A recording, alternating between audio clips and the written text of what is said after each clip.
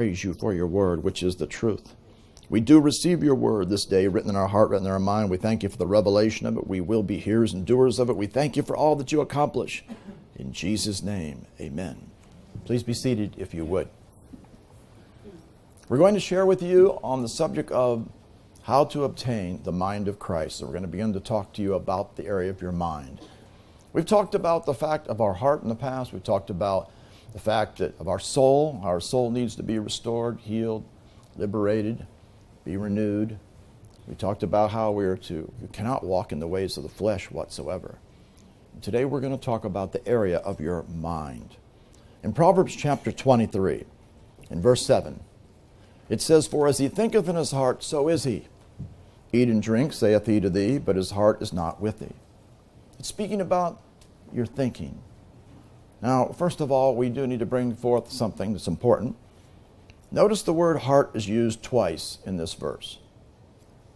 We have the ability with this program to put the cursor over the particular word and to show you the Hebrew or the Greek word, if we're in the New Testament, behind it to see if it's translated correctly. We want to be sure it's translated correctly because if it's not, we could be deceived. I put the cursor over the first word, heart. I want you to notice it's the word nephesh. This particular word is translated soul, can also refer to the mind. It does not mean heart. I put the cursor over the second word, heart, down here. It is the word leb, which means the inner man or the heart. Unfortunately, the King James Version has er, made an error and translated this incorrectly. This is talking about as a man thinketh in his soul as Young's literal translation, that's the YLT that we put beneath. It's the finest New Testament, and one of the, it's very good in the Old Testament as well, but the finest New Testament translation that I know of today. Young's literal translation. So it says, as he thinks in his soul, or that would be in the area of our mind, because our soul is made up of our will, intellect, and emotions. And where do we think? We think in the mind area of the intellect. As you're thinking in your mind, so are you. Now that tells us something pretty important. If we're not thinking right, we're going to be in trouble. Because we could be, however you're thinking is the way you are, and you want to be sure you're walking right in the ways of the Lord. So we must get the mind of the Lord. We must have the mind of the Lord Jesus Christ. And there's two important things. We need to get the mind of the Lord so we have his mindset, so we think like he thinks. And we also must conquer the enemy who comes against our mind trying to stop us from having the mind of Christ and trying to deceive us through his lies and his deception so we will not think correctly. Over in Romans, Romans chapter 11, verse 34. In Romans 11, verse 34. For who hath known the mind of the Lord? Who knows the mind of the Lord? The Holy Spirit knows the mind of the Lord. God knows, of course, the Father, Jesus, they know the mind of the Lord. But do we know the mind of the Lord ourselves? No. It's not in us, within ourselves. But can we know the mind of the Lord? Absolutely, we can. We see over in 1 John chapter 5. 1 John chapter 5, over in verse 20. We know that the Son of God has come. Jesus has come and he's given us an understanding. Now, the word understanding, put the cursor over this word, it is the word dianoia. This particular word comes from noe, which means the mind. And this is talking about a way of thinking in your mind, more literally. So he's given us a way of thinking in our mind, or as Young's brings it out more clearly, there's a different word for understanding in the Greek. He's given us an, a way of thinking in our mind that we may know Him that is true. That tells you something. We can have the mind of the Lord Jesus Christ so that we will have the way of thinking so we can know Him. It also tells you if we don't know, if we don't have the correct mindset, we'll never know the Lord. God wants us to know Him. He wants us to develop a personal, intimate fellowship with Him so we can know Him. But we've got to have our mind renewed to the truth of God's Word. In Isaiah chapter 55, Isaiah chapter 55 tells us something. It says, beginning here in verse 7, For my thought, verse 7 that is, let the wicked forsake his way, and the unrighteous man his thoughts. This man who's unrighteous, is his thoughts right? No, they're not the thoughts of the Lord. They just come from man, the fallen state. Let him return unto the Lord, and he will have mercy upon him, and to our God, for he will abundantly pardon. For my thoughts are not your thoughts, neither are my ways your, my, your ways, my ways, saith the Lord. That tells us something. Our thoughts in ourselves are not his thoughts. His thoughts are different. His ways are different than our ways. What's going to be the answer? He says, For as the heavens are higher than the earth, so are my ways higher than your ways, and my thoughts than your thoughts. So we've got to get the higher thoughts into us. And we can get the higher thoughts into us through the Word of God. He says in verse 10 As the rain cometh down and the snow from heaven, and returneth not thither, but watereth the earth, and maketh it bring forth and bud, that it may give seed to the sower and bread to the eater, so shall my word be that goeth forth out of my mouth. It comes down to you and me. It shall not return unto me void. It shall accomplish that which I please, and it shall prosper in the thing whereto I sent it. And it gets sent into our minds and into our hearts so that we will know the ways of the Lord. God's thoughts are very deep, the Bible says. It's over in Psalms 92. Psalms 92, we see in verse 5. O Lord, how great are thy works, and thy thoughts are very deep. His thoughts are very deep. But he will reveal his thoughts unto us he will bring forth revelation of His mind in us. How does He do it? You can't do it yourself. It's only God's the one who's going to accomplish it, and He wants to do it, and He will do it. We see over in Luke 24, in verse 45. This is when Jesus was revealing the truth about the Old Testament scriptures about Him to those who were those ones after He'd been raised from the dead. And it says here, then opened he their, the King James says, understanding, that they might understand the scriptures. I put the cursor over the word understanding. It is the word nous, which means mind. It's translated mind. The majority of the times, this program has the ability to show these Greek words, how often they're used. This particular word used 24 times in the New Testament. 21 times correctly translated mind, three times erroneously translated understanding. Well, how can you say it's erroneous? Because here's the word for understanding when I put it down here. It says that they might understand the scriptures. This is the word suniemi, which means understanding. Of the 26 times it's used, it's translated understanding 24, which is correct. Now, we share this with you because we're not trying to get on down translations. We're only interested in one thing truth. And if they're not right, we have to take a look and find out what's truth and what's not, what's not truth. Then opened he their mind. Even Young's didn't pick this one up for some reason. Usually he corrects all these errors. Then opened he their mind that they might understand the scriptures. God is going to open up your mind to understand the scriptures to bring revelation to you of his ways. You cannot understand them in your own self. The natural man can't understand them, they're all spiritually discerned. So, he wants to open up your mind.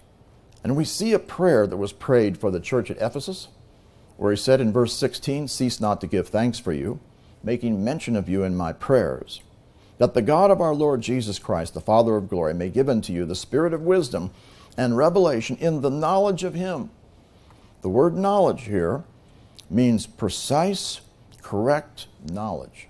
God wants you and I to get precise, correct revelation knowledge of the word, not what we think it might say. We got to know exactly what it says. Precise, correct knowledge. And notice it's the knowledge of him, not about him, but it's of him. And then he goes on and says how it's going to happen. The eyes of your dianoia, mind and your way of thinking, the eyes of your mind, so you can have a correct way of thinking, being enlightened. God is going to open up the eyes of your mind, your spiritual eyes, so that you will be able to be able to learn and know the ways of the Lord. You're going to be enlightened, that you may know what's the hope of his calling and the riches of the glory of his inheritance in the saints. It's a prayer that they prayed. It's a prayer you can pray for yourself or anybody else. Just plug in your name and pray the prayer. You know, you could pray, Heavenly Father, I thank you for giving unto me the spirit of wisdom and revelation, the precise, correct, accurate knowledge of you. That the eyes of my understanding, or the eyes of so and so's understanding, you can pray this prayer for them, of the eyes of their mind, that is, being enlightened, that they may know what's the hope of your calling, the riches the glory of the inheritance in the saints. As you pray the word, God performs it, and He will open the eyes of your mind. They'll be enlightened so you can have the way of thinking in your mind so you can be able to understand the scriptures. Now, what is happening when you hear the word and the word is coming to you? God is taking that word and He's not only opening the eyes of your mind, but He's going to do something with it. In Hebrews 8:10, it speaks of the new covenant and what He does in these days. He says, This is the covenant that I'll make with the house of Israel after those days. This is speaking of the New Testament, the new covenant after the resurrection of Jesus when the New Testaments come into being. He says, I will make, uh, says, I will put my laws into their mind and write them in their hearts. And I will be to them a God, and they shall be to me a people. So notice he takes his word, which is his laws, his spiritual laws, and he puts it in your mind and he writes it in your heart. In Hebrews 10 16, it says the reverse of this. It says, This is the covenant that I'll make with them after those days, saith the Lord. I will put my laws into their hearts, and in their minds will I write them. So God is going to put and write His word in your heart, and He's also going to put and write it in your mind. You need it in your heart, which is the inner man on the inside of you but you also need to have it in your mind, and that's absolutely essential. Now, as the word is coming into your mind, what's it going to do? Romans chapter 12 in verse 2. He says, Be not conformed to this world. You and I are not to be fashioned alike to the ways of this world. Actually, the word world is the word age, this particular age where Satan is dominating in this particular age. But instead, you are to be transformed by the renewing of your mind. The word transform is the Greek word metamorpho, from which we get our English word metamorphosis. And it means to change into another form. Remember, metamorphosis is the, if you remember from science class, it is the process whereby the caterpillar is turned into a butterfly in a change of species. That's exactly what God is going to do in you. He's going to change you from a carnally minded, worldly minded person after the flesh into a spiritually minded, heavenly minded, being able to have the mind of the Lord Jesus Christ. You are going to be transformed. And how, what's going to happen? There's going to be a renewing of your mind. This word doesn't mean just throwing some facts into your mind. It's stronger than that. It means a renovation a complete change for the better. God wants to renovate and completely change your way of thinking. We need to gut everything that we used to the way we used to think after the ways of the world, and now we're going to think after heaven's ways. Why is that? Because you have been born from above. You're a part, if you're born again, you're a part of the true church, and the only church there is is one church, the church of the firstborn. And in Colossians 3:1, he says, if you then be risen with Christ, talking about spiritually, you've been raised from the dead, you've been born from above, you're a part of the church of the firstborn. Seek those things which are above, where Christ sitteth on the right hand of God. Otherwise, we're born from above, but we're living here on this earth, but nonetheless, we can seek the things above. He wants you to seek the things that are from heaven above. And remember, his thoughts are higher than ours, and so we're going to seek after his word, his ways, so we can learn the thoughts of the Lord, get the mind of the Lord Jesus Christ, and know him. He says, set your affection. This is the word phroneo, which means to have a understanding in your mind, it's referring to.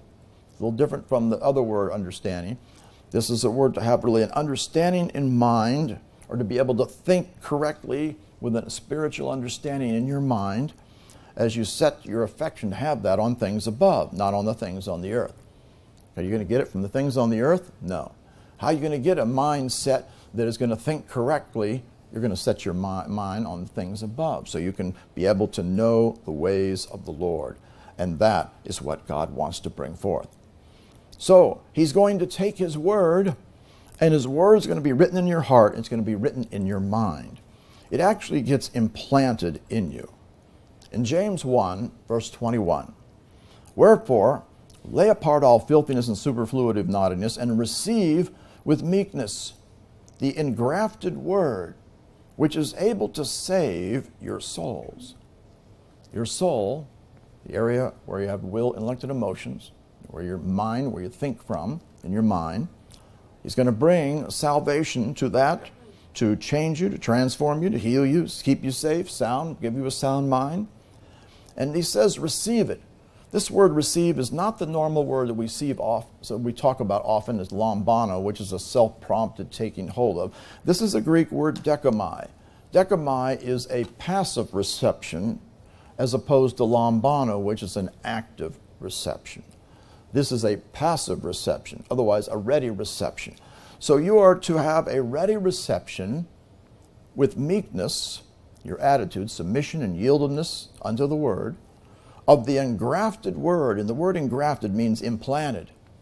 It's going to be implanted in you, which is able to save your souls. It has the power of God. This is the word dunamai, which comes from dunamis, which means power. The word of God is the power of God, which will be implanted in you, that will bring you a way of thinking that will produce the salvation of the Lord, bring his victory forth in your life, that you will know the ways of the Lord. Now, another thing that's important as you are listening to something, whatever it might be, you got to be sure that it's the right thing. In Acts chapter 17, verse 11, these were more noble than those in Thessalonica. And this is talking about the ones at Berea. This is where he came to Berea. So this is the Bereans it's speaking of. The Bereans were more noble than those in Thessalonica, in that they received the word they had a ready reception, dechomai of the word, with all readiness of mind. They had a readiness of mind to receive this word and searched the scriptures daily whether the things were so. That's important. You want to be sure what you are hearing is the truth. Is this in line with the scriptures or not? Is someone telling you something that is in line with the word? Is it the truth or is it error? There's much error taught in the body of Christ on most all subjects out there. We have a major problem in the scholarship in the body of Christ, in the ministry. People have not studied the Word as they should and seen the truth. We've already seen. If you don't look up in the translations, you can be teaching things that are contrary to the truth of the Word. We've got to check things out. So they searched the Scripture daily, whether the things were so. God wants you to search the Scriptures daily to see if the things that you hear are so. In Ephesians chapter 4, verse 22, in order to have the mind of the Lord Jesus Christ, we do have to get rid of some things. And he says in Ephesians 4:22 that you're to put off, put off, or put away, put aside, concerning the former conversation. Conversation refers to the manner of life, conduct, and behavior all the ways that you acted, the way you thought, your behavior, which all comes from your mindset of what you have, your outlook on things. You're to put off the former behavior of the old man. The old man is that man after the flesh, which was walking according to the human nature way, the lower way, man's thoughts, which are not God's thoughts, which is corrupt according to deceitful lust. The old man is corrupt because of deceitful lust coming from the flesh. We cannot have a human mind from the flesh. We must have a mind that's renewed to the Word of God so that we will have the mind of the Lord Jesus Christ. It's corrupt, the old man is, so you got to get rid of that. And he goes on and says, You're to be renewed in the spirit of your mind. Now it's interesting in the Greek here, the word mind is actually plural in the Greek. I can show you that here when we come. Talk about the mind of you. This is plural, the plural, the mind of you. It's a plural word here when he's referring to the pronoun here about your mind. So he's talking about being renewed here, being renewed. You're going to get your mind renovated, changed, transformed through the Word of God. In the Spirit, because what do we need? We need a spiritual mind now. Get rid of the carnal mind. We're going to be renewed in the Spirit of your minds. He's talking about to all of them. Your mind's got to get renewed in the Spirit. We're going to get renewed so we have a spiritual mind instead of a carnal mind. A mind that's thinking after heaven's ways instead of after earthly ways. If we see things, we have a mindset after the earthly ways, we're never going to walk in the way of the Spirit because God's way is the way of the Spirit. His Word is Spirit and it is truth. He goes on in verse 24 and he says that you put on the new man.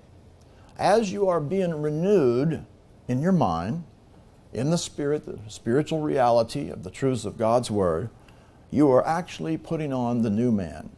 And this word put on is a word enduo in the Greek, which means to clothe oneself. You are actually putting on spiritual clothes, so to speak, through the word coming into you as you put on the new man. And this word here, when it talks about this, this is your responsibility to do it. God is not going to put it on for you. You are going to put it on. The reason you know that is because this happens to be a middle voice. Now, for you here for the first time, if you've never heard this kind of teaching with bringing up this, don't be overwhelmed. We share all these things, but they're extremely important to understand. Tense, there's tense, voice, and mood of verbs, and they're very specific in the Greek, especially about what's being said. The voices, there's three of them active, middle, and passive. If it's an active voice verb, the subject is doing the action, or it has something to do with the uh, subject. If it's a passive voice, the subject's being acted upon by somebody else or something else. If it's a middle voice, it means the subject is doing the action for his benefit. He's responsible to do it so it gets done for his benefit. And that's what it's talking about here. You are to clothe yourselves, is the way you would translate this, the new man. You are to clothe yourself with the new man, which after God is created, or was created, in righteousness and true holiness. You are going to get the Word of God in you that is going to put on and clothe yourself with this new man. We must get the mind of the Lord Jesus Christ, and we must have a spiritual mind. Now, over in Romans, Romans chapter 7, Paul talked about the situation that he was dealing with, and he had quite a dilemma as he was learning and growing in all these things. You and I, of course, we grow up in all these things as well. And he says in Romans 7:15, he says, "That which I do, the things I'm doing, I allow not. For what I would, what I will to do, that do I not. Otherwise, things I want to do, I'm not doing. Things that I don't want to do, I am doing. Well, that doesn't make any sense. Why in the world am I doing something I don't want to do? Somebody, something, there must be some desire within me. I want to do the right thing, but something else is in me causing me to not do the right thing, or do something wrong, and not even do the things I want to do. He says, What I hate, that do I do. That I'm doing. If I then, if then I do that that I would not, I consent to the law that it's good. Now, then it's no more I that do it. I'm not doing these things that I hate. But it's sin that dwells in me. Where is sin dwelling? Sin is dwelling in the flesh. I know that in me, that is in my flesh, dwells no good thing. For the will's present with me, but how to perform that which is good I find not. Where does the will come from? It comes from the inner man on the inside. He comes down, again, he says that sin that's dwelling in me. I find a law that when I would do good, evil's present with me. But I delight in the law of God after the inward man, that's the hidden man of the heart, the inner man on the inside. So he has a desire from his heart to do the right thing, but he's got something dwelling in his flesh, sin dwelling in his flesh, causing him to do the wrong thing. warring against him. He says, I see another law in my members of the flesh, warring against the law of my mind, working against my mind, bringing me into captivity to the law of sin, which is in my members, in the flesh. So something's warring against him. He's not able to walk in the way he's supposed to, he wants to walk. He says, O wretched man that I am, who shall deliver me from the body of this death? That's an important thing to understand. We talked about it on Wednesday. Your flesh is a body of death, and you cannot walk after the flesh by a human nature way of looking at things, by your feelings, or by a carnal aspect, a way of thinking. No.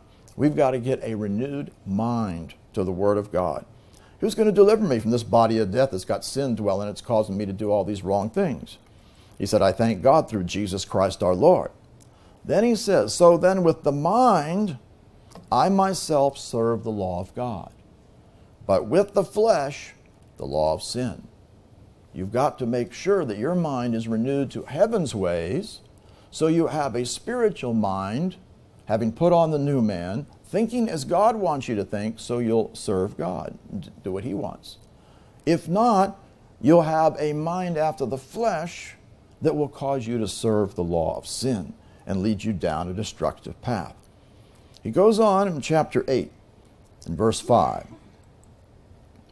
He talks about something important. Not only do you need to get your thoughts in your mind, but where your focus is, is extremely important. You can have the Word of God that's come in your mind, but your focus is not after walking after the Word of God. You'll walk in the flesh and call, see all kinds of destruction. He says in Romans 8 5, They that are after the flesh, whatever your focus is, whatever you're seeking after, whatever your focus is after, if you're after the flesh, you're going to mind the things of the flesh. If I'm looking just to go after the walk in the ways of the human nature, whatever I want to do, without considering the Word, that's walking in the flesh. They that are after the Spirit, they're going to be minding the things of the Spirit. So it comes down to part of it is not only what you have in your mind, but also where's your focus. There's many Christians that have got the Word in their mind, but their focus is on walking after their own ways. They don't submit to the Word. They don't think, what does the Word say in every situation? And they end up walking after the flesh. They end up reacting after the flesh. They know the word says you should walk in love, but they get themselves in strife and arguments and have bitterness and resentment and anger and negative things because they're all reacting out of the circumstances or the situations from their mind, a carnal mind, instead of thinking, what does the word say? And speaking spiritual or doing what the Spirit says, spiritual things from the Word of God. To be carnally minded or fleshly minded is death, but to be spiritually minded is life and peace. That's what you and I are going to get. We are going to get a spiritual mind, a mind that has revelation of the ways of the Spirit. And this is extremely important. Now, over in 1 Peter chapter 4, verse 1. For as much then as Christ hath suffered for us in the flesh, See, you've got to re- before we read this, let's go back to Romans for a moment. You've got to realize when Jesus came, what happened? He got a brand new. He came, of course, the Word was made flesh and dwelled among us. Well, whose flesh did he get? He got the flesh from Mary, remember. Was that righteous? Was that holy? No. It was sinful flesh. Notice what it says For the law, what the law could not do, and it was weak through the flesh, God sending his own Son in the likeness of sinful flesh. Jesus had sinful flesh. That didn't mean he sinned, but he had the ability to sin. He didn't have flesh that wanted to do the right thing, he had flesh that wanted to do the wrong thing. He had sinful flesh. And so, what did he have to do? He had to suffer in the flesh make sure this, so he could he had this attacks that come against him from the desires of the flesh but he couldn't yield to it. He had to yield to the spirit and do whatever the father wanted him to do. 1 peter 4 1 for as much then as christ hath suffered for us in the flesh he did. Arm yourselves likewise with the same mind for he that hath suffered in the flesh has ceased from sin he suffered from the flesh by not yielding to the flesh And because he didn't yield to the flesh, he yielded to the Spirit, he did everything what the Father told him to do, he only did what the Word said, he ceased from sin. If you will not let the flesh have dominion, you will cease from sin because you're going to yield to the Spirit instead of yielding to the flesh. And we talked about how we walk in the Spirit and not fulfill the lusts of the flesh. That he no longer should live the rest of his time in the flesh to the lusts of men, but to the will of God. That's going to be a key for you. You've got to be committed that you're going to live to the will of God, not in the flesh to the lusts or strong desires of men. We're going to live to the will of God. How can we know the will of God? God's Word is the will of God. It is spiritual law. And God is taking His Word and writing it in your heart and writing it in your mind. And you then are to take hold of that and not yield to the flesh. You cannot let this flesh rise up against you and overtake you. You're going to be focused after the Spirit, not after the flesh. So you don't have a carnal mind, but instead you have a spiritual mind. Now, in Romans chapter 8, it mentions over here in verse 27 He that searches the hearts knows what's the mind of the Spirit. There's a mind of the Spirit, and there's also a mind of the flesh. The Holy Spirit, He knows the mind of the Spirit, and He will also, of course, He'll know what's going on in the flesh. We want to get the mind of the Spirit in us which comes through the Word of God as the Holy Spirit brings revelation to us. He will take this and write it in our heart, write it in our mind, so we will have a spiritual mind about us. Another thing that's important is to, you must have a mind that is, we already saw about with meekness how we receive the Word of God. But in Acts chapter 20, verse 19, it says, serving the Lord with all humility of mind you and I must have a humility of mind. Otherwise, not a prideful mind, not a I know it all mind, one that's humble and submitted unto the Lord, yielded unto Him. Humble and pride are opposites. Pride thinks they've got it all together themselves. I, I, I. No, your mind, you're going to have a humility of mind submitted unto the Lord. It's important that you submit yourself unto Him. If you don't submit your mind unto the Lord to think on what He says in every situation, then you'll operate out of pride. You can't do that. Romans chapter 12, verse 3 says, I say through the grace given unto me to every man that's among you, not to think of himself more highly than he ought to think. Don't ever think more highly of yourself. God doesn't want you to think low about yourself. He wants you to see yourself in Christ but he doesn't want you to ever be exalting yourself because who's the one who's doing all the work in you? God is, and through you. God is. We are nothing. We're just a vessel. We're just yielded to him. He's the one that does all these things. But we're to think soberly, according as God has dealt to every man the measure of faith. Think soberly or with wisdom, this is talking about, in such a way, and that's going to be because of the Word of God. Now, this humility of mind, is something that you're responsibility to, responsible to put on, as we see in Colossians 3:12. Put on, therefore, as the elect of God, holy and beloved, bowels of mercies, kindness, humbleness of mind. You're going to put this on. And this happens to be this word put on is the same word enduo that we see, which was to clothe yourself. Middle voice again, you're responsible to do it. In fact, this is a command, it is an imperative mood verb. You and I are commanded to clothe ourselves with these things, including humbleness of mind.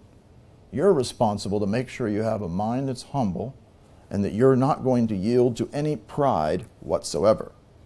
Because your walk must be with humility. If you're going to have the mind of the Lord, you've got to have humility.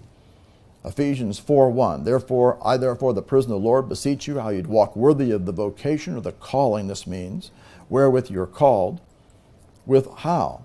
All lowliness, this lowliness of mind. This is the same word where we saw humility of mind in the Greek. And meekness with long suffering, for bearing one another in love. You're going to walk with the humility of mind that is absolutely essential. with this humility of mind, you're never going to think you're better than somebody else. If you think you're better than somebody else, you've got a problem. Philippians 2 2 says, Fulfill you my joy that you be like minded, having the same love, being of one accord, of one mind. Let nothing be done through vain, strife or vainglory, but in lowliness of mind, let each esteem other better than themselves. Anytime you start thinking you're better than someone, you just let pride get into you. You cast that down. You think of each other, esteeming each other better than themselves. So you don't ever be exalting yourself. Any exalting will be done by God, not by yourself. Also, if you're going to have the mind of the Lord, it must be in line with righteousness. Proverbs chapter 12, verse 5. The thoughts of the righteous are right. Where am I going to get the thoughts of righteousness? From the word of righteousness. God's word is the word of righteousness. His word is always right. So, how am I going to think correct thoughts? I'm going to think, what does the word say in every situation? If you don't think what the word says in every situation, then you must be thinking about things from your own human standpoint, which will produce a carnal minded attitude with a proper mindset of thinking what the Word says in every situation, yielding, submitting your mind unto the Lord, humbleness of mind, you can have the mind of the Lord Jesus Christ in operation. Even though you got the Word in you, if you don't yield to it, and you don't put humbleness of mind, you could know the Word, but you're walking on the flesh continually. I see a lot of Christians that do that. They got they know the Word, but they're operating in the fleshly mind almost all the time even though they know a lot of things. No, you got to put it in operation and be submitting your mind in line with the Word of God. Absolutely essential. And you need a mind that's willing and ready to do what God wants you to do. It's not just getting the thoughts in your mind and knowing what's right. You need to have a willing mind that you're going to do what's right. You're going to put it in operation. 1 Chronicles 28 9. Thou, Solomon, my son, know thou the God of thy father, serve him with a perfect heart and with a willing mind. A willing mind is a mindset that's ready to do what God wants. My mind's willing to obey him, to serve him, to carry out the things that he wants me to do. That's what God wants. He wants a willing mind in you. And then, he, of course, he wants you to do all these things that he tells you to do. That is very important. You've got to have a mindset not only thinking correctly, in line with the Word, but a mindset that's going to do what God says. 1 Samuel chapter 2, verse 35. He says, I will raise me up a faithful priest that shall do according to that which is in mine heart and my mind. Remember, Eli, he was a priest, this is talking about, but he wasn't doing what God told him to do. He wasn't restraining his children from evil. He was not doing the things he was supposed to do. But now he says, I'm going to raise up a faithful one that's in my heart and in my mind, and I'll build him a sure house. He'll walk before my anointed forever. God wants us to get what's in his heart and his mind in us through the word and then do it.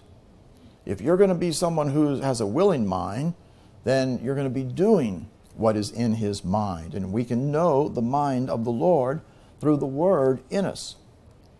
In Psalms 119. Psalms 119, we see over in verse 59. Psalms 119, verse 59. I thought on my ways and turned my feet under thy testimonies. That's an important point. You need to think on your ways. Do you think on your ways before you go and walk in your ways? Do you think on what the Word says before you speak or before you choose to do things? Or you, you know, set your agenda for what you're going to do? Are you thinking of what God says in His Word? Thought, I thought on my ways. And then He says, I turn my feet into thy testimonies. I'm going to, I'm going to make sure I'm going to walk my feet, you know, step by step in line with what you want me to do. That's what God is looking for. And He wants your mind to get so established in the things of the Word of God with a willing mind ready to do what He says. Proverbs, 20, uh, Proverbs 16, verse 3. He says, Commit thy works unto the Lord. You're going to commit the works or your deeds unto the Lord, what you're going to do. And thy thoughts, what's supposed to happen with them? They shall be established, or they're going to be stable, they're to be fixed on what God wants you to do. You commit your way that I'm going to do what He says, so my thoughts are going to be established, they're to be set, they're to be firm, that I'm going to do what God wants, so that I will walk in the ways of the Lord. You got to have yourself committed unto the way of the Lord, though, to, to, to works of the Lord. Commit your works, what you're going to do. I'm going to follow his ways. Otherwise, I'm not just going to get all these facts in me, spiritual facts, and have all this knowledge and not do it. If you won't do it, you aren't going to see the mind of the Lord Jesus Christ be established in you. Because the devil will come and he will take that word out of your heart. And God, if you don't, if you don't walk in the ways of the Lord, as you'll hear at a later time, he, he'll turn a person over to a reprobate mind because they aren't doing what he says. See, God expects you to walk in line with His Word. When He brings His thoughts to you, it's not for you to like pick and choose and think about it and, oh, I, I like these thoughts, but I'm going to keep walking in my own ways. No, that doesn't work. You are to submit yourself and walk in the ways of the Lord because you have come into covenant relationship with Him. Now, God wants to bring you to the place of having a mind that is sound and set. 2 Timothy 1 7, God's not given us a spirit of fear, but of power and of love and of a sound mind. Sound mind's what God wants. One that is set, one that is controlled by the Word of God, so you will not yield to anything else. And of course, you need to be after the things of the Spirit, not after the things of the flesh. At the same time, you got to make sure that you're governing your mind so you're not letting any evil be operating in your mind. 2 Peter chapter 3 verse 1. This second epistle, beloved, I now write unto you, in both which I stir up your pure minds by way of remembrance. Pure refers to that which is pure, that's, that's sincere, or it also means, when you look it up, spotless or unmixed, a mind that's really set on the word, a pure, sincere, spotless, unmixed mind or way of thinking. That's what he wants. So he's bringing my way of remembrance to stir up their minds so that they would think correctly and be exhorted on the things that they should do. Another thing is if you're going to have the mind of the Lord Jesus Christ, it can't be going this way and that way and back and forth and all over the place. No, you need to have your mind settled on the Word and be fully persuaded that what God has said is true. You got to know the Word is true and you got to have your mind renewed to the point where you know it's so Of course, this was because of study on your part. Romans chapter 14, verse 5, where he says, Let one man esteems one day above another, another esteems every day alike. Let every man be fully persuaded in his own mind. You got to be fully persuaded in your mind what is right, so that you will know what is right. How am I going to be fully persuaded? Because I get the word in my mind, and I see exactly what the word says. You're to be fully persuaded. This is the case when Paul mentioned in verse 14, I know and am persuaded by the Lord Jesus. There's nothing unclean of itself. To him that esteemeth anything to be unclean, to him it's unclean. If he thinks it's unclean, it'll be unclean to him. But he says, I know there's nothing unclean now. There's nothing unclean, talking about food they would eat. Well, that, that was all the Old Testament things had all these unclean things they couldn't eat. But now in the New Testament, now it's after the way of the Spirit. There's nothing. That was all a revelation of all the uncleanness in the natural would be revealing uncleanness in us in this realm of the Spirit. He said, "There's not the food's not causing me to sin. It's not making me sin." Now, instead, it's what's going on in my mind and things of the, of, of, of the, contrary to the word of, of the word of God or to the Spirit that would cause me to sin. So he's persuaded. You got to be persuaded. And this brings us to another point. You can't be double minded. You certainly will not have the mind of the Lord Jesus Christ if it's double minded. We see in James 1 8, a double minded man is unstable in all his ways. Your mind's this way your mind's that way. You got to have your mind set. How am I going to get it set? I'm going to study the Word. I'm going to know what the Word says. I'm going to get exact, precise, correct knowledge and I'm going to look at all the scriptures so I'm not confused at all, so I'm not going to maybe miss out on some things. I'm going to make sure that I've studied to know the word. A double minded man is unstable. He's unstable. He's not going to be able to be constant in all his ways. He'll vacillate, he'll go every which way. God wants your mind so set that in a situation comes, you'll be willing and ready to do what the Word says instead of being tossed this way or that way and not knowing what to do. We cannot have a double mindedness. Double mindedness shows instability in your life spiritually. Chapter 4, verse 8, he says, Draw nigh to God, and he will draw nigh to you. Cleanse your hands, you sinners, and purify your hearts, ye double minded. What does that tell you? Double mindedness will have an effect upon your heart. Because he says, Purify your hearts, you double minded. Otherwise, the double mindedness has had a negative effect upon their heart.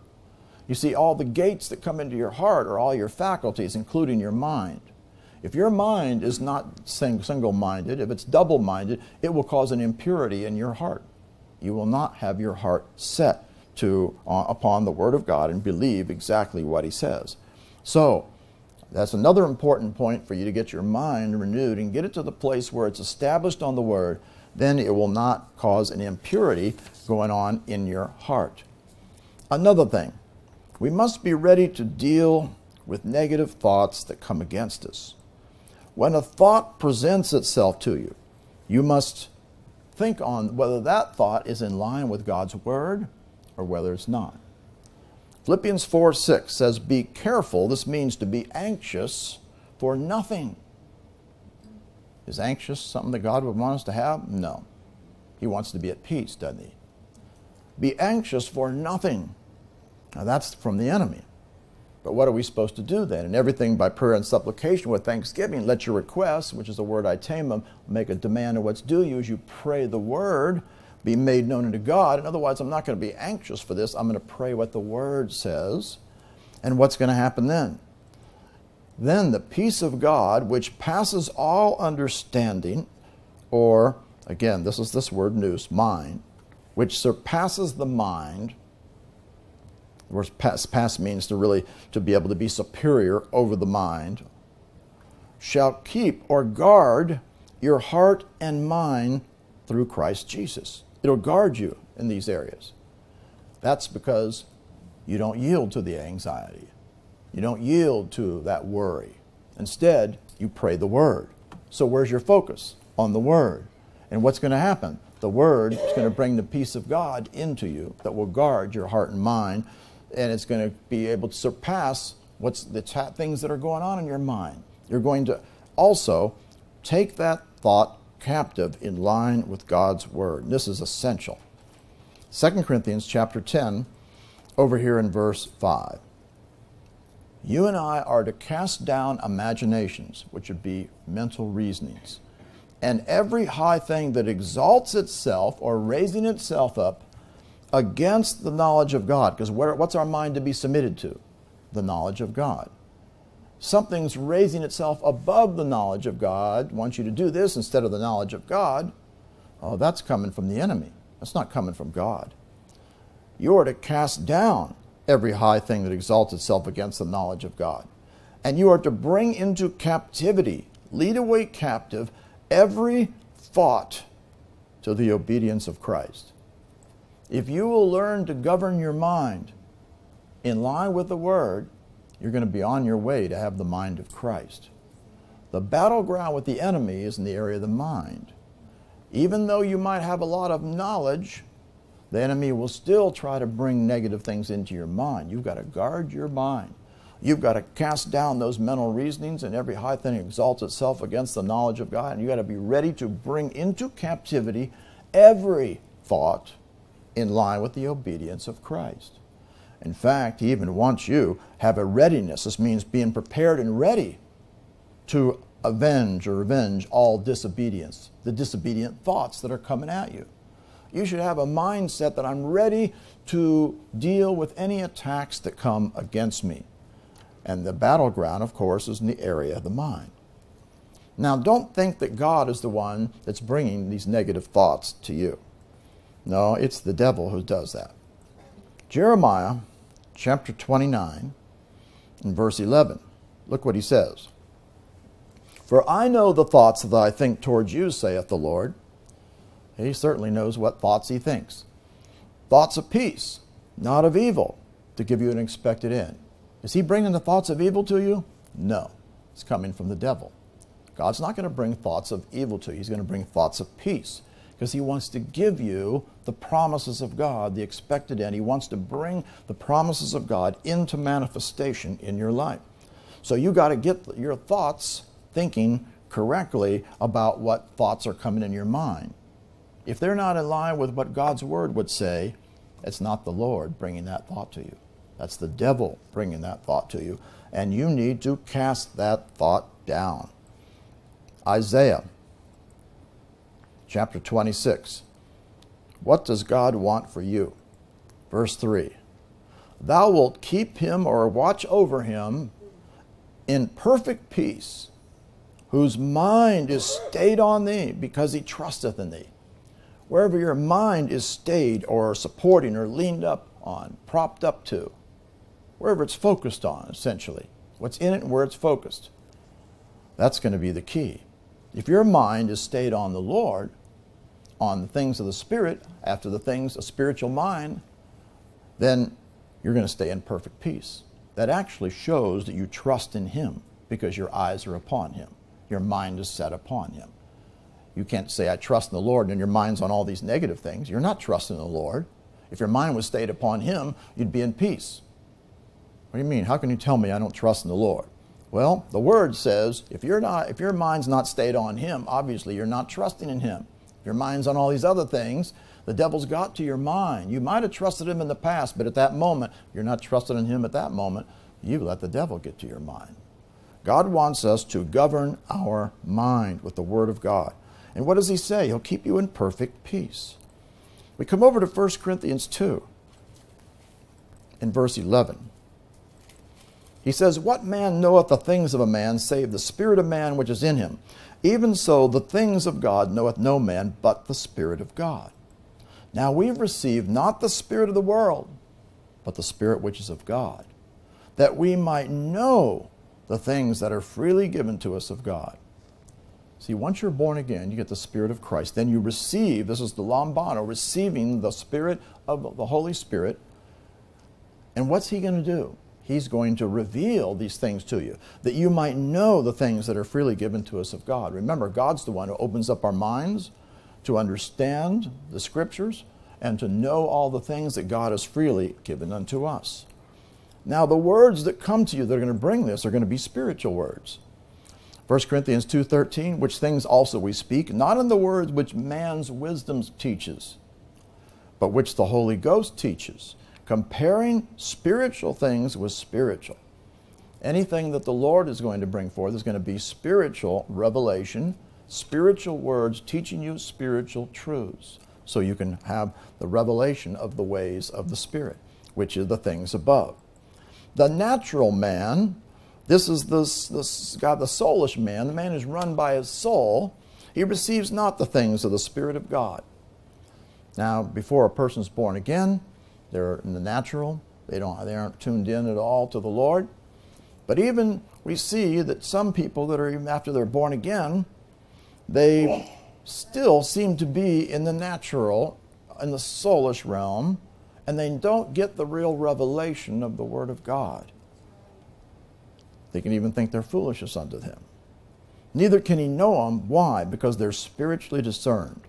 Otherwise, the Holy Spirit is going to open up the eyes, remember, of your mind so that you're going to be able to understand the scriptures. It's spiritual discernment. You're not going to figure it out yourself.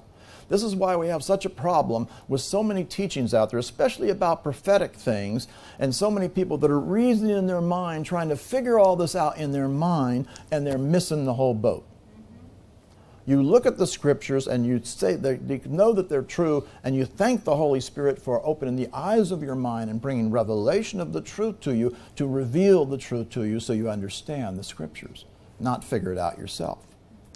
This is why we have such a big problem in the body of christ. They're not spiritually discerning things by the holy spirit revealing it. He that's spiritual judges all things yet he himself is judged of no man Who hath known the mind of the Lord that he may instruct him? Otherwise, somebody's got to know the mind of the Lord so he can tell him what's going on. Well, he says, We have the mind of Christ. How'd they get the mind of Christ? Through the Word, by the Holy Spirit, revealing these things to them, opening the eyes of their mind and taking this Word and write it in their heart and write it in their mind and understanding that my focus must be after the way of the Spirit. I must think on what the Word says. I must take my thoughts captive. I must keep my mind stayed on what His Word says. All these things that we've talked about, things that are in line with righteousness, these are all keys in order to see that you are going to have the mind of the Lord Jesus Christ. And this is absolutely essential. God wants us to get the mind of the Lord Jesus. Now, in the past, Ephesians chapter 4, verse 17. This I say, therefore, and testify on the Lord, that you henceforth walk not as the Gentiles or the nations, the multitudes walk, in the vanity of their mind. Vanity refers to that which is devoid of truth. Otherwise, they're not considering the truth. They're just walking after whatever's in their mind. That's the way the world walks. And that's the way carnal Christians walk too. They just think whatever comes in their mind. They're not thinking what the Word says. A mind that's devoid of truth, you'll just walk in the flesh and it'll produce death. In the a mind that is devoid of truth, it is absolutely essential that you and I get the Word into our mind, but we need to make sure that we're going to submit to it and do it. Having the understanding, which is dianoia again, the mind with a way of thinking darkened. Their minds darkened. Why? Because they're walking devoid of truth. What's the truth? The Word. If you don't submit your mind to thinking on what the Word says, there'll be other stuff that'll come in your mind and you'll end up walking in a way that's devoid of truth. You'll be walking and your, uh, your mind, way of thinking will be darkened being alienated from the life of God through the ignorance, lack of knowledge that's in them because of the blindness of their heart. What happens? If you don't walk in the ways of the Lord, you're going to walk in the ways of the flesh. And what's the ways of the flesh? It produces sin. And what happens when you walk in sin? Sin is deceitful and it will cause a hardening in your life. Because when it says because of the blindness of your heart, this really refers to like a hardening, a hardening of their heart, calloused heart, hardening of heart, hardness of heart, as Young's brings out really what this word means. Why? Because they didn't walk in line with the word. See, when you hear the word, it is important that you have a willingness, a readiness to do what it says and put it in operation and incorporate it into your lifestyle. And then you're going to think on what the Word says in every situation, which is so important. If you don't do that, then you'll end up, if you don't submit it to the truth, you'll walk in the ways of the flesh. And you'll walk just like all the nations walk. No, we need to have our mind thinking on the right things, which is thinking on what the Word says in every situation. Also, Another thing that's important for us to have the mind of the Lord Jesus Christ is we know that the enemy will work against us by bringing negative thoughts. But we also must understand that demons will work in your mind to hinder you as well. In Mark chapter 5, here's the man who came out of the tombs with an unclean spirit. He had his dwelling among the tombs. No man could bind him, no, not with chains because he had often been, been bound with fetters and chains. The chains had been plucked asunder by him, and the fetters broken in pieces. Neither could any man tame him. Always night and day, he's in the mountains and the tombs, crying and cutting himself with stones. I mean, he was in a terrible shape. The demons were running this guy. So, he wasn't able to choose the right things because he was bound by the devils. When he saw Jesus afar off, he could do something now when he saw Jesus. Even though he was being controlled by these demons, he did have the will to make a choice. Because when he saw Jesus, he could run to him. This tells you something. People that have demons in their mind, they can never excuse, give the excuse, well, the devil made me do it and I couldn't choose to come to Jesus. No, this guy, the devil was causing him to do all these things and had him bound, but when he saw Jesus, he could run to him. If the man from Gadara could run to him, any of us can run to him. That's for sure. Ran to Jesus afar off, and he ran and worshiped him, even though he was so bound cried with a loud voice and said, What have I to do with thee, Jesus, thou most, Son of the Most High? Adjure thee by God that thou torment me not. That's a demon crying out because Jesus was already beginning to cast the demon out, telling him to come out of the man, thou unclean spirit. Now, as Jesus cast the demons out of this guy, we come to verse 15. And they come to Jesus and see him that was possessed with the devil and had the legion, sitting and clothed and in his right mind. Notice, when the guy had the demons cast out of his mind, now he was in his right mind. But it's more than that. Some people approach deliverance that just cast this out and everything will be fine. I'll be in my perfectly right mind. Not so. Why? Because there's more to it than just getting the demons cast out of your mind. We're going to look over at a parallel verse because notice here it says he had the legion, he's sitting. If you just kind of picture this, he got him cast out. You think he's just sitting on a seat or sitting somewhere. He's got his clothes on now and his right mind. Well, that's not really the total picture because you got to look at all the accounts. In Luke chapter 8, verse 35, we see the picture better. They went out to see what was done, came to Jesus, found the man of whom the devils were departed, sitting at the feet of Jesus. He wasn't just sitting doing nothing. He was sitting at the feet of Jesus. Now that's a little bit different. Now we're talking about something different. Clothed and in his right mind. So in this case, the demons were cast out, but else what else was the guy doing? He's sitting at the feet of Jesus. And that's what produced, uh, you know, brought the right mind, but also he was clothed. We talk about sitting here at the feet of Jesus. This was this is talking about an ongoing, it's a spiritual revelation. It's a present tense verb, which means continuous, repeated, ongoing action. I mean, he was continually sitting at the feet of Jesus, a revelation of what a person needs to do. And what happens when we sit at the feet of Jesus? Remember what that was all about? We'll come back here in a moment. Remember about Mary in Luke chapter 10, down in verse 39? Mary and Martha. She had a sister called Mary, which also sat at the feet of Jesus and heard his word. So, someone sitting at the feet of Jesus means, spiritually, the revelation is continually hearing the word, continually hearing the word of God. And that's important. We need to continually be getting our mind renewed to the word so the word is continually ministering unto us. Now we go back over to Luke chapter 8 in verse 35. How did this guy get to the place of being in his right mind, a sound mind? The demons were cast out of him.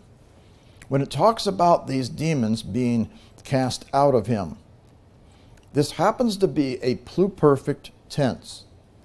The pluperfect tense is somewhat of a rare tense, and it's not a common one in the Greek.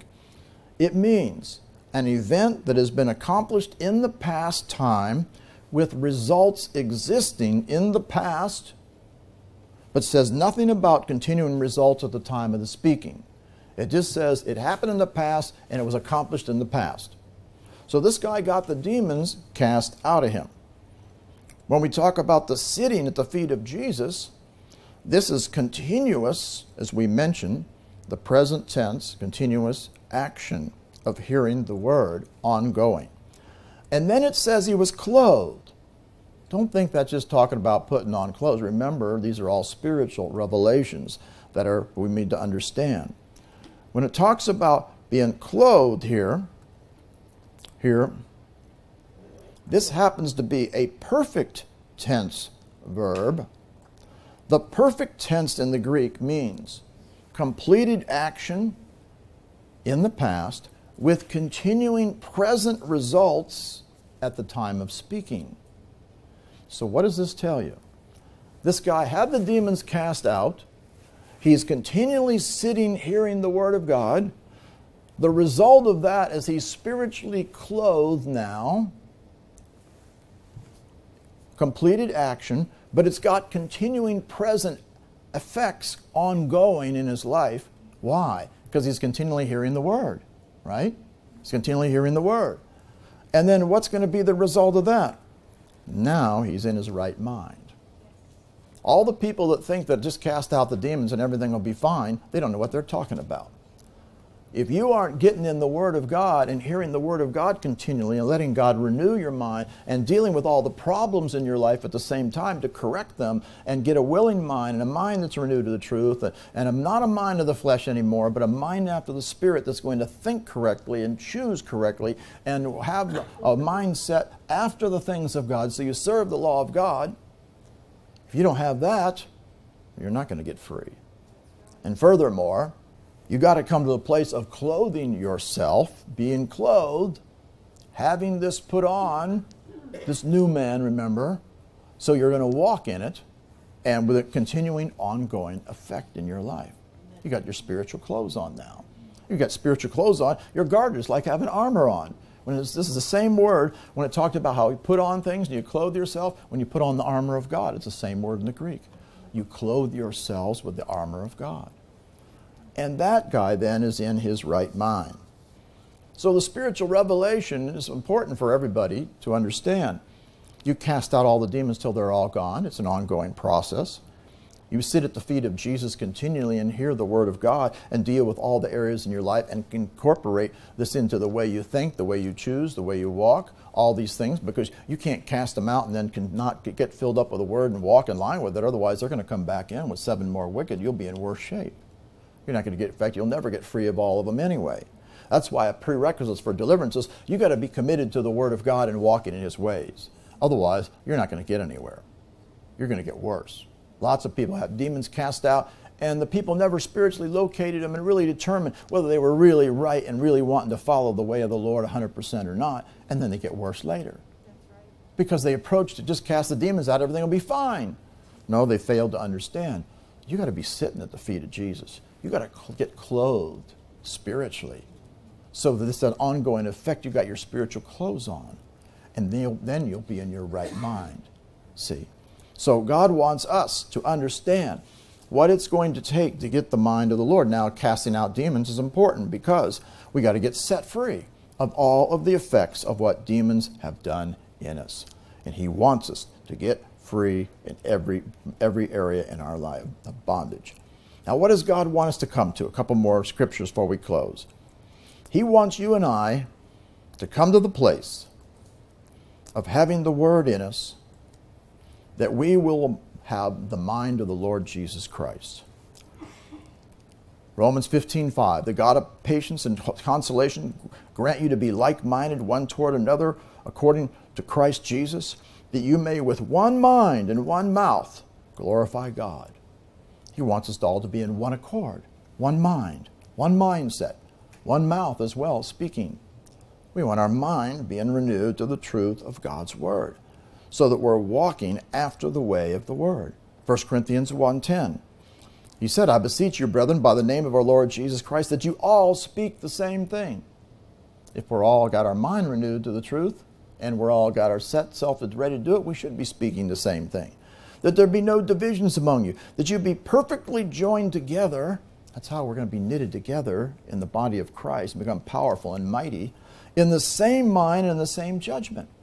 We got ourselves filled up with the things of God. That's what God wants. He wants us to have the mind of the Lord Jesus Christ. And that's what he's going to bring us to. In 2 Corinthians chapter 13, verse 11. Finally, brethren, farewell. Be perfect. God wants us to go on to perfection. Be of good comfort. Be of one mind. This word means same mind. Be of the same mind. It's not the word for one, it's the word that means same, as Young's brings out. Be of the same mind. Live in peace. The God of love and peace shall be with you. He wants us all to get the mind of the Lord Jesus Christ, the same mind, because we get the word in us. And we put the word first place. And we think on what the word says at all times. When you do that, then you are going to get the mind of the Lord Jesus Christ established in you through the Word. But you're also going to have to keep it. You're going to have to guard it. You're going to have to watch over it and make sure you're walking in line with His ways. So we've seen a lot of important things. As you're thinking in your mind, so are you. So we got to get the mind of the Lord Jesus Christ. God has given us a way of thinking in our mind so we can know Him and we can possess the promises in our life. We got to forsake unrighteous thoughts. We got to know our thoughts are not His thoughts because His thoughts are higher than our thoughts. What's going to bring His thoughts to us? The Word of God. But how's it going to come to us? God's going to open our mind to be able to understand the Scriptures. They're spiritually discerned. As He opens up our mind, then we're going to have that understanding the word's written in our heart and it's also written in our mind, and it's going to cause a transformation, change in species from a worldly minded to a spiritually minded, carnal minded, spiritually mi- now spiritually minded person, changed, so that now you will have a renewed mind, completely gutted, complete renovation, absolute change in your mind. In order to do this, you've got to set your mind on the things above, not on the things on the earth. You can't be mining earthly things. You got to be mining the spiritual things. You're going to accept the word that comes in. You're going to have a readiness of mind. You're going to be ready to apply it in your life with a willing attitude. You are going to be ready also to deal with all thoughts that come from the flesh because anything that's coming from the flesh, contrary to the word, is going to produce a fleshly mind and cause you to sin. You're going to get your mind renewed, and with your mind, you're going to serve the law of God. Your mind's going to be focused on the things of the Spirit, not after the things of the flesh. And you're going to have the mind that's a humble mind, meekness, submitted mind, yielded mind unto the Lord. And you're going to put on this mind, this new man, through the renewing of your mind. It's going to be in line with the word of righteousness. You're going to have a willing mind ready to do the word, remember. If you're not ready to do it, what in the world are you learning it for? You know, well, I just want to get a bunch of facts, then I'll think about it. That's a wrong way to think. God does not like that. He's given you His knowledge for you to do it, to put it in operation, not to think about it and decide whether I'm going to do something. We must think about and consider our ways and get our thoughts established.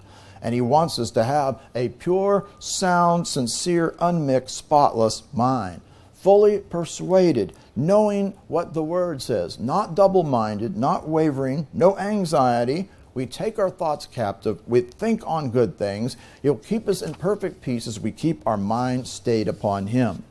And as we then get the mind of the Lord Jesus Christ, of course, also we cast out all the demons that are hindering us in our mind, and we sit at the feet of Jesus, continually receiving the Word and we clothe ourselves with the word so that we are going to have the mind of the Lord, also so we'll be protected like armor from the enemy coming into trying to take the word out.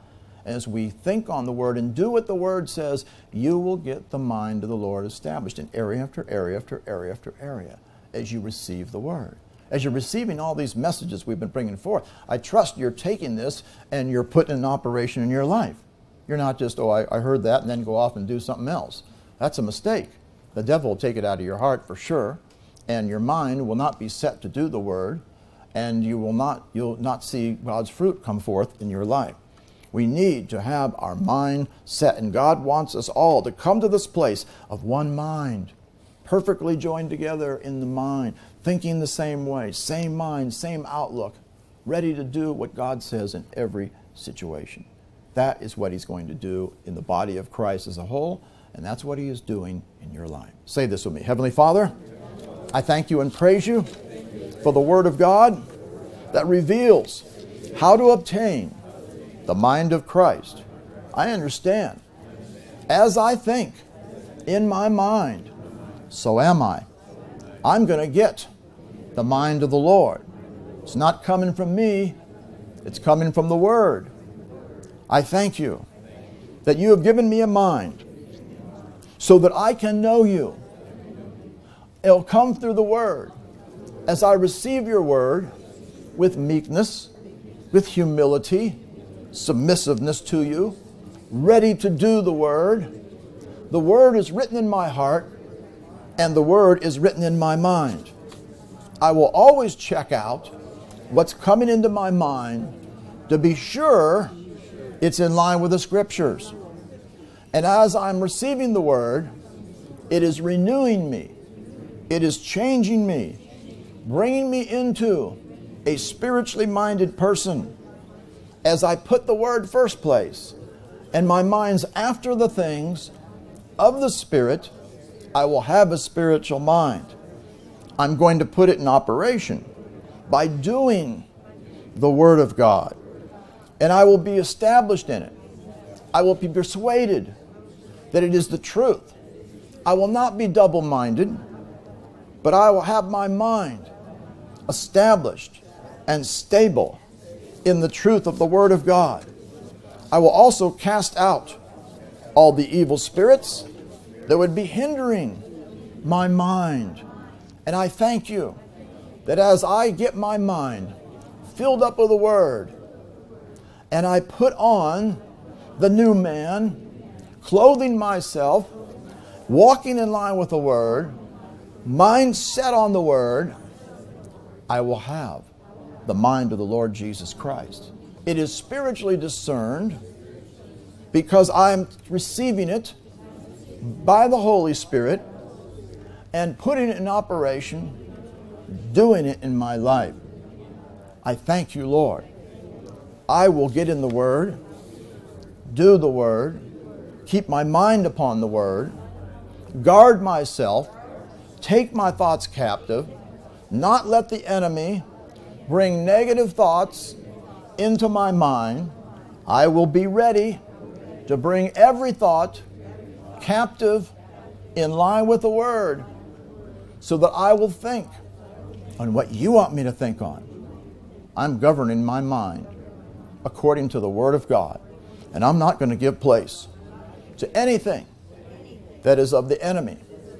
I will have the mind of the Lord Jesus Christ because I receive it, I walk in it, I do what He says, and that's my way of life.